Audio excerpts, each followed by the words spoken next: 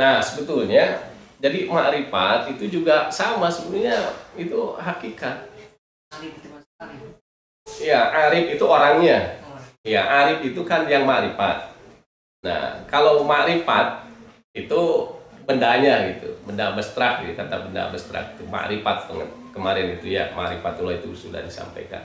Nah, itu sebetulnya kalau kita makrifatullah itu hakikat. Jadi sebenarnya kalau di saya sebutkan itu hampir sama sebetulnya.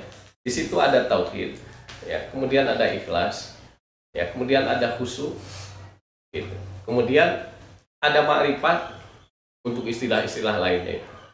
Kemudian juga zikir, ya. Kemudian juga apa liko, gitu, ya, bertemu dengan Allah, gitu. Makanya itu itu juga sebenarnya. Makanya kan ada misalnya apa namanya tadi wa innaha lakabiratun illa alal khasin kecuali bagi orang-orang yang khusyuk. Nah, orang-orang yang khusyuk itu bagaimana? Orang-orang yang khusyuk itu adalah alladzina yadunnuna ya, orang-orang yang meyakini annahum mulaku rabbihim itu bertemu dengan Tuhan gitu. Wa annahum ya ilaihi rajiun dan sungguhnya mereka itu kembali kembali kepada Allah gitu. Ya. Jadi satu makna sebetulnya itu. Itu hakikat. Ya hakikat. Makanya saya itu apa memasukkan kepada hakikat itu ya tadi eh, tauhid ya, pengertiannya sudah tadi kemudian ikhlas pengertiannya sudah. Kemudian termasuk zikir ya kudurul qol- kolbi ya fi ibadatillah itu. Jadi hadirnya hati dalam beribadah kepada Allah. Kemudian khusyuk. Nah, khusyuk itu ya tadi dalam ayat Al-Qur'an itu sehingga diberi pengertian bahwa khusyuk itu adalah apa? Uh, don nuliko illa fi ibadati. Meyakini bertemu dengan Allah dalam beribadah kepada Allah. Jadi itu berbeda-beda apa namanya pengertiannya gitu. Tapi itu sebetulnya hakikat. Ya. Kalau di dalam konteks eh, bertasawuf itu. Karena bertasawuf itu yang tadi itu awalul ilmu, awalnya ilmu itu adalah syariah karena syariah itu itu ilmu semua. Mencakup eh, ibadah ya. Apa namanya? Akidah ibadah akhlak ilmunya itu ada ilmu akidah gitu ilmu tauhid ya. Kemudian ada ilmu fikih kemudian ada ilmu akhlak atau ilmu tasawuf. Nah kemudian kalau toriko itu pelaksanaan terhadap pengetahuan-pengetahuan itu terhadap syariah itu. Kalau ilmu-ilmunya yang tadi itu. Ya. Nah baru ada buahnya wa akhirul mauhibah.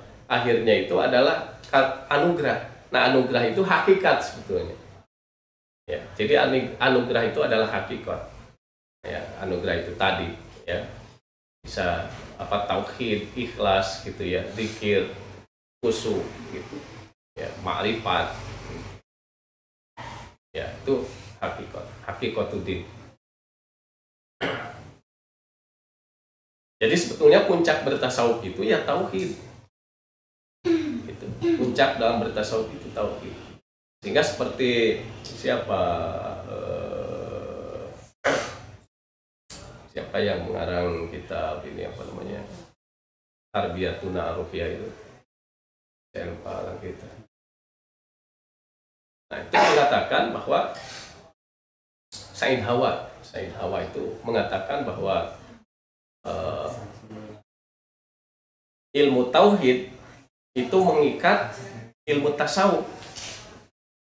Ilmu tauhid itu mengikat ilmu tasawuf. Ilmu tasawuf itu menyempurnakan ilmu tauhid. Nah, bertauhid yang ben, ber, apa bertasawuf yang benar itu merasakan akidah yang benar. Jadi tauhid yang tadi di dipikirkan sampai ke apa ya melalui pemikiran akal yang sifatnya logis itu itu di dalam ilmu tauhid.